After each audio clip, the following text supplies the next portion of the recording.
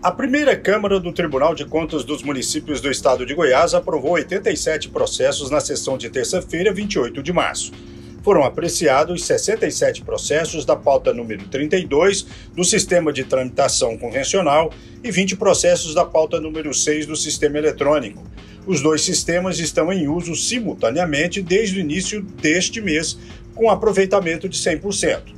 A sessão remota foi conduzida pelo presidente da primeira Câmara, conselheiro Daniel Goulart, e contou com as presenças dos conselheiros Sérgio Cardoso e Francisco José Ramos, do conselheiro substituto Maurício Azevedo e do procurador do Ministério Público de Contas José Américo. Mais informações na TV Assembleia.